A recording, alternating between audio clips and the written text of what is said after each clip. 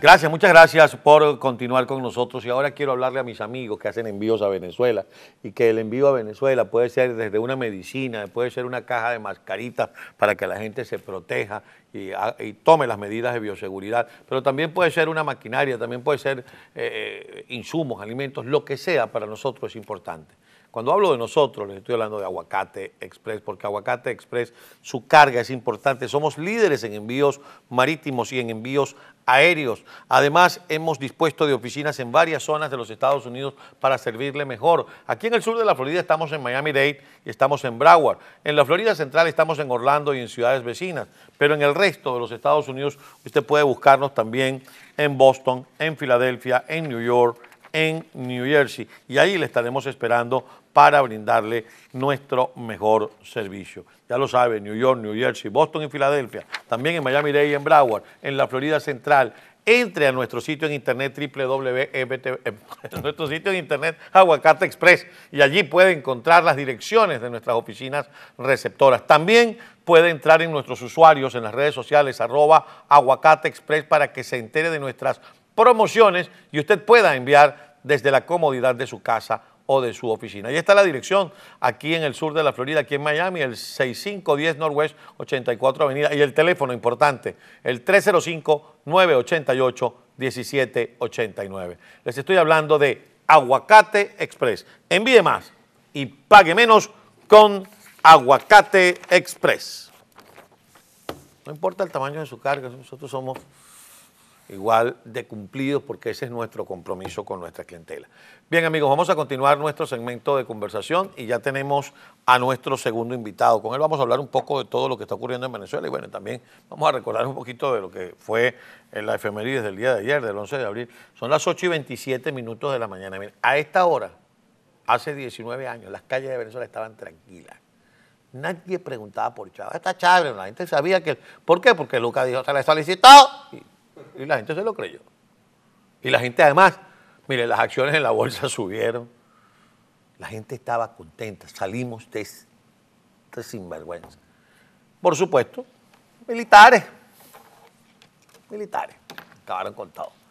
Bien, amigos, para mí es un placer recibir en el programa a José Vicente Carrasquero, profesor universitario, analista político, además lo más importante, gran amigo de esta casa y de este servidor, y me complace mucho tenerlo en el programa.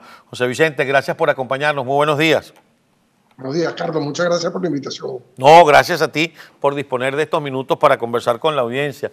Bueno, eh, inicialmente, por supuesto, quería que habláramos del comportamiento del régimen y de lo que ha sido toda esta, esta puja para poderlos obligar a que entren en un sistema que le permita vacunar al pueblo venezolano. Pero siendo, siendo la, fecha en la que estamos y siendo tú eh, una persona con el conocimiento y el análisis político que te conocemos, no quería dejar pasar eh, la efeméride del día de ayer y la del día de hoy, que, los venezolanos recordamos con... Y, no se trata, y quiero aclararlo, porque mucha gente está recordando que una vez salieron de Chávez. No, es que es importante que la gente sepa que ese complejo político que le quiso inyectar el régimen a los venezolanos del golpe de Estado, del golpismo, de los golpistas del 11 y de que cada 11 tiene su tres y toda esa pajoleta loca que no sirve para nada.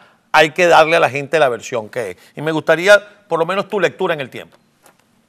Sí, lo, primero que hay que decir, Carlos, es que las dictaduras no, no son sujetos de golpe de Estado.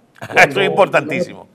Cuando una dictadura es derrocada, tú estás imponiendo un sistema de libertades, tú estás imponiendo nuevamente la, democracia, tú lo que estás haciendo es rescatar eh, el, sistema para los venezolanos, estás haciendo justicia, no hay, hay un golpe de Estado, sobre todo en momentos como el de ahorita, donde Maduro eh, eh, ocupa el poder, ocupa al estilo español. se, metió en Miraflores y no, y no quiere salirse de ahí. Mm. Eh, ahí Maduro no es, una, no es una persona sujeta al golpe de Estado. salir de Maduro es una obligación constitucional prevista en, en, en aquel famoso artículo que siempre sacamos a reducir y que este, de alguna manera sería eh, devolverle a los venezolanos un sistema de libertades, devolverte a los venezolanos eh, salir de este patético estado que, que, estamos viviendo y que implica tantas muertes como estamos viendo, tantas salidas del país como, como estamos viendo y una calidad de vida que ya entra en, en comparación con los países eh, más pobres del hemisferio como Haití o, Honduras, pero más, más Haití que Honduras, lo cual quiere decir que eh, eh, este, el, el, no haber podido mantener, y ahí vamos entonces al 12 de abril de, del 2002, no haber podido mantener una actitud unitaria, acordada, una actitud alrededor de, de, la cual todos los venezolanos nos amalgamáramos, eh, fue lo que eh, llevó al traste a una eh, del pueblo exitosa, porque los que salieron a la calle fueron los venezolanos, recordamos aquellas marchas gigantescas, también recordamos a los delincuentes del chavismo disparándole al pueblo. Y aún así este, fue posible sacar a, a Chávez del poder eh, sacar a una persona que no era un representante de la venezolanidad, era más bien un agente extranjero, tal cual como es Maduro en este momento, un agente eh, de, de, una, eh, de un gobierno que, que se ha hecho de Venezuela con la anuencia de, de, esta, de estos traidores a la patria que, que, en este momento ocupan el poder en Venezuela. Sí, yo creo que has hecho un, un extraordinario resumen y creo que Hugo Chávez, de las pocas veces que dijo la verdad, fue cuando posterior a esa fecha dijo, ahora yo no soy el mismo Hugo Chávez del 11 de abril. Quiso decir con eso, ahora no me van a sacar de aquí y si me sacan, me sacan muerto, como en efecto se murió y así fue cuando dejó de gobernar. Ahora bien, vamos a hablar de varias cosas. Quisiera que en esta primera parte nos dieras tu lectura de lo que está ocurriendo o de lo que ocurrió en Ecuador para muchos una sorpresa. Pensamos que el, que el péndulo se estaba yendo hacia la izquierda, así lo, denotaba la primera vuelta, así lo denotaban algunas encuestas. Por ahí salió Correa a dar unas patadas de ahogado y a decir que se trataba de un fraude, etcétera, etcétera. Pero ya el propio candidato perdedor, el señor Arauz, reconoció y felicitó al presidente Lazo. Me gustaría tu lectura. Sí, bueno, y también Correa eh, más tarde eh, en un Twitter cogió mínimo. Dijo, bueno, nuestras cuentas no estaban bien sacadas eso quedó en evidencia con, con los resultados. Eh, Carlos, lo, que es cierto es que la izquierda se presentó dividida en, Ecuador, de ahí que Pérez fuera este, el tercer candidato en discordia, y esa gente muy maltratada por Correa, por cierto, los indígenas fueron muy maltratados por Correa durante, durante su gobierno, sacaron su factura. Entonces, la gente dijo, entre volver al correísmo y seguir tratando una manera distinta de hacer las cosas, eh, vamos a seguir tratando una manera de hacer eh, distintas las cosas. Y lo que Lazo tiene que eh, tener en cuenta en un país que todavía tiene un cierto grado de inestabilidad política es que los votos que él sacó son sus votos más los de la gente que no querían al otro candidato y eso, si él lo, lo, tiene en cuenta y hace un gobierno amplio y hace un gobierno incluyente, eh, va a ser muy bueno para Ecuador y va a ser muy bueno para él, porque hay que recordar que en Ecuador es posible reelegirse por cuatro años más.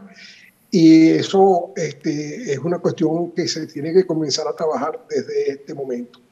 Eh, el, el, rechazo eh, al correísmo es una cuestión importante y tiene mucho que ver con eh, las implicaciones, con las denuncias de corrupción que se hicieron contra el mismo Correa y la forma como Correa ha manejado estos escándalos con el aspaviento y, una especie de altivez moral que no le corresponde. Y eso, por supuesto, eh, produce mucho rechazo en la mayoría de la población, tal como queda demostrado con los, con los resultados electorales.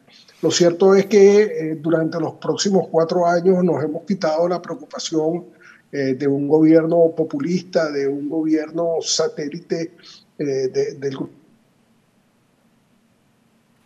como se llama ahora, de Puebla, este, y estamos más bien concentrados en ver que Ecuador pueda eh, salir lo mejor posible de, la pandemia, que lo ha afectado demasiado, y pueda retomar el, el curso del, del, crecimiento económico, que es lo que están buscando todos los países latinoamericanos en este momento.